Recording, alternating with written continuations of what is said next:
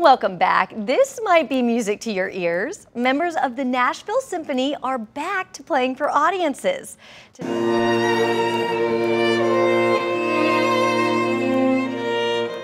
Chamber music.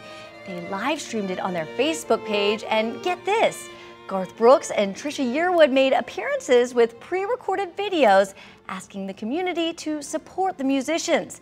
For them, this is their first time performing for an audience of any kind since the week of the March tornadoes.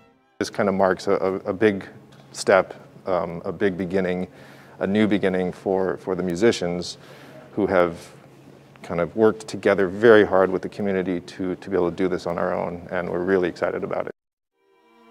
The musicians have teamed up with St. George's to bring you the free concerts, and the plan is to hold one a month for the rest of the year. You can watch tonight's concert by visiting the symphony's social media pages. The musicians are also collecting donations to help them get by while they're on furlough. We have information on where you can donate on the News 4 app.